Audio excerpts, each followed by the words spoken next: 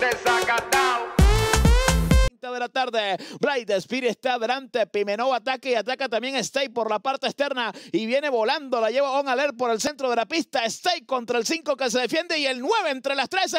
El 9 On Alert contra el 5 y Mansa con Castellano en gran carrera. Ganó número 9. Ventaja de dos cuerpos. Insiste para el segundo Stray Hara. En el tercero Graffiti Digital, pero trata de escaparse Simplification. El pupilo de Antonio Sano con A Javier Castellano y no puede perder en gran carrera ganó Simplification. Recta final de Gofrin para 1.10 exactos para los 6 furlos. Domina mi negrita, pero tendrá que contener a Caitlin O, que corre mucho por la parte externa. Caitlin O está desplazando, se va a la punta. Mi negrita queda en el segundo.